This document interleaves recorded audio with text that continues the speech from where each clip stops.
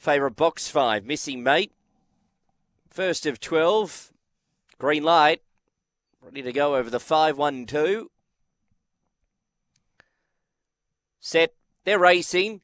Missy Mate left okay. Close your eyes. First one to go, but Missy Mate quickly tackles and won that scrimmage into the first corner. Clyde Jacket up to second. Close your eyes. Back to third. Just Wally trying to circle out deeper. A break to I'm a burner and then empowered. Missy Mate off the backs. Kick clear leads by a good four and a half lengths. Close your eyes gives chase up to second. Clyde Jacket back to third. Around the bend, Missy Mate getting a little tired. Close your eyes, trying hard. Missy Mate needing the post. Saw it out. Missy Mate a neck to close your eyes. Empowered up for third. Then Clyde Jacket. I'm a burner and Just Wally in around 30 and 20.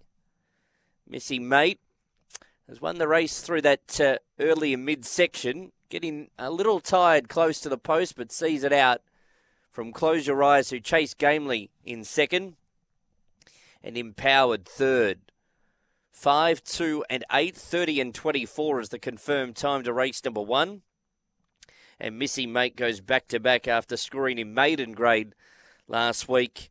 Now takes uh, his record to two wins from seven starts, the son of Kinloch Brae. So 5, 2, 8, and 1. Half a length is the winning margin with six and a half lengths between second and third, a half